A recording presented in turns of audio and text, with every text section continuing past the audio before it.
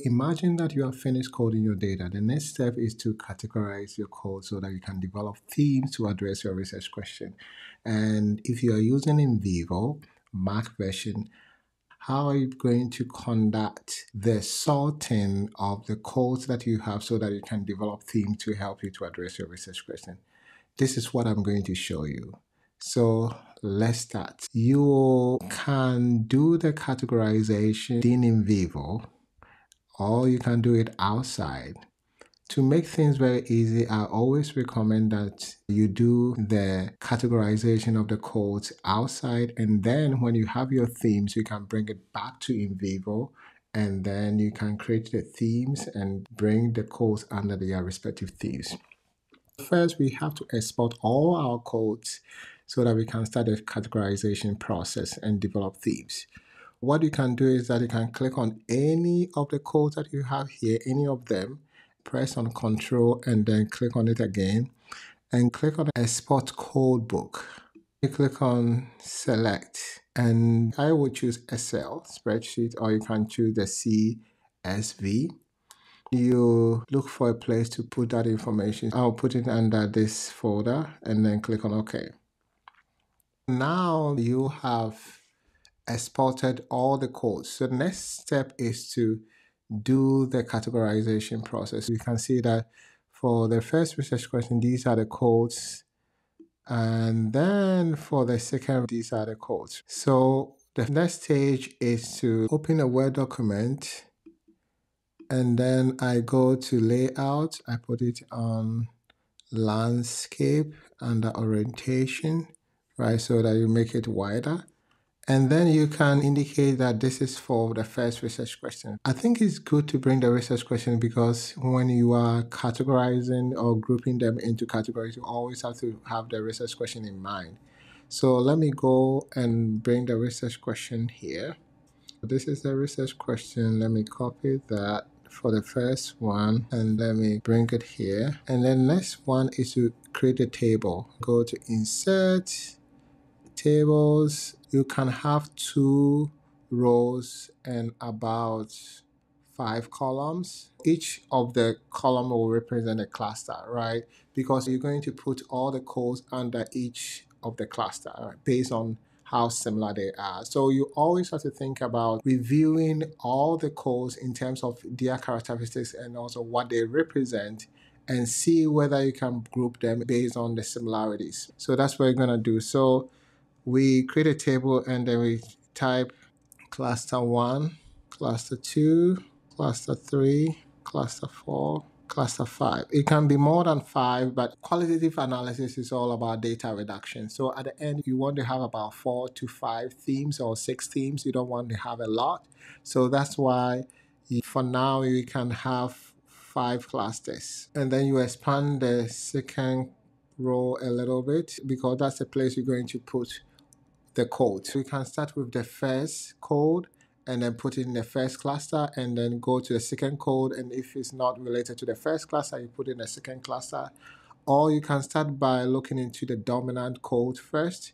So the dominant code are the codes that have the highest number of participants connected to the code and also the highest number of significant information drop into that code. So here you can see that having numerous work-related tasks is considered a dominant code because it has two participants connected to it and also four significant information. So now what we're going to do is that we can copy having numerous work-related tasks. We copy that and then we can change the color here so that we know that we copied that information and go to the document and we put it here.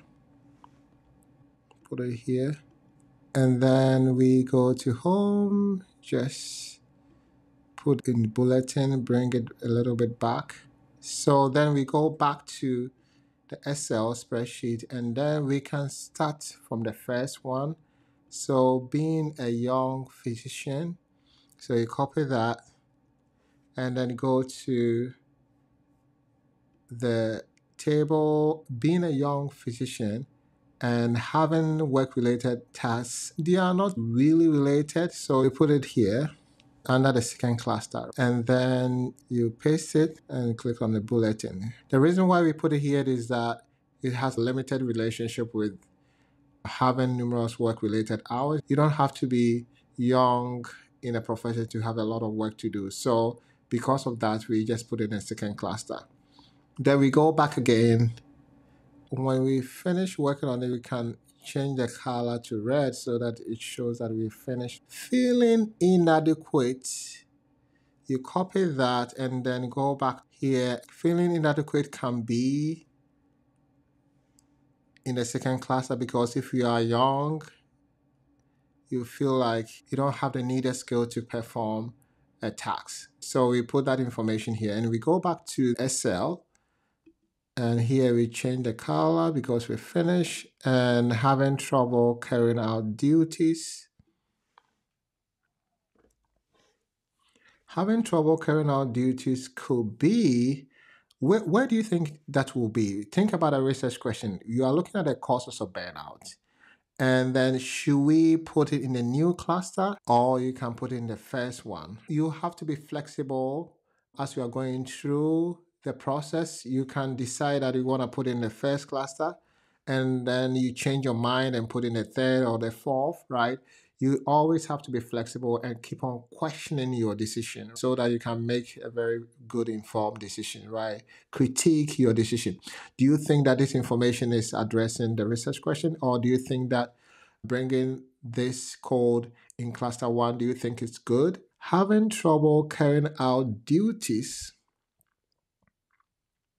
Yes, it can have some relationship because if you have a lot of work to do, right, you have trouble carrying out duties. It could be also in cluster two too, right? But you always have to choose the one that the code best belong. So let's put it here for now and go to the next one. Having long hours. You copy that, bring that, and then I think it could be here, having long hours. And as I said, you can change your mind as time goes. Having less time for family, you copy that, it can stand on its own here, right? So that's how you're gonna do. You just have to make sure that you go through all the codes and then put them under their respective clusters and always think about whether it has some relationship with the previous clusters. If it doesn't have any relationship, with the calls in other clusters, you put it in a new cluster. That's how you're going to do. So let me show you the final product so that you can see how it went. So let's go to this PowerPoint. So as you can see here, we put all the calls into their respective clusters. As you can see on the table, we created five clusters, right? But as you are going through, you may realize that, oh, you don't need the, the final one, so you just have to take it out. So the sorting, as I said, is about looking at each of the codes eh, in terms of what it represents and the significant information that has been connected to that code, right? And then see whether you can group them based on similarities. And then when you group them, we call it sorting. And this is what you're going to get after the grouping. You're going to do the same thing for the second research question. Everything that we are doing, you're going to do the same thing. For each of the research question, you're going to create a table and uh, sort the codes and put them in the clusters. Then after that, after grouping, you have to review each of the cluster members or the codes under each of the cluster and then based on that you can label the cluster. So based on the content here having high workload was used to represent this one. This information will be doing two things. The label is representing the code here at the same time addressing your research question.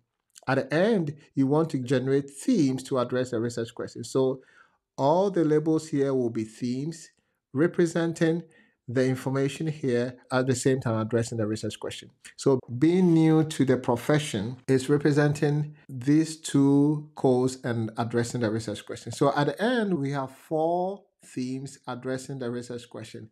And what do you have to do next?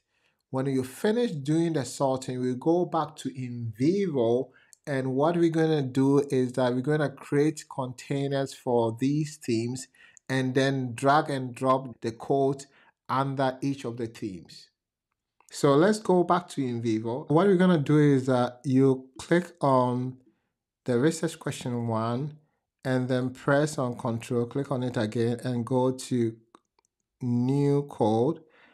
And then what you're to do is that at the beginning, you can type theme in parentheses and then you can copy and paste the label, the first one, and put it here. You can give a description if you want. What does this theme represent? And then you can check aggregate coding from child codes. And then you click on done. You do the same thing for the, the next theme. You click on the research question, press on control, click on it again and go to new code. And then what you're to do is that you're going to bring the theme copy the theme and bring it here. And also here you, you can type the theme at the beginning or at the end, right? The most important thing is that you have to differentiate between the theme that you have and also the codes, right? Without typing a theme, you will not know or it will be very difficult for you to differentiate this one from the codes that you have. That's why you have to type themes at the beginning, type theme at the beginning or at the end if you want to, and then click on done. So let's do the next one.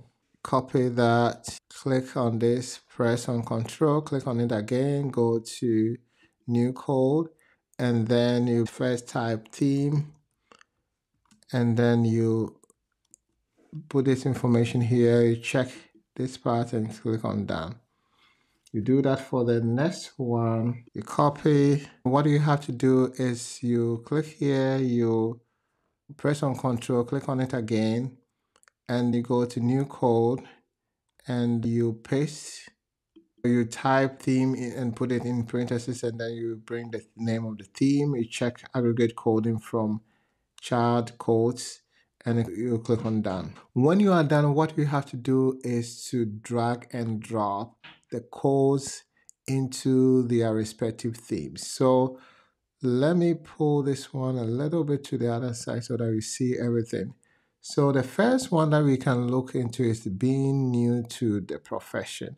So this code is belongs to that. So you select and drag and drop. Feeling inadequate is also part of that you drag and drop having long hours will belong to having high workload. This one belongs to having high workload. So that's what you're gonna do, right? You just drag and drop it into their respective themes. Let me show you the final product. As you can see here, let me go to codes.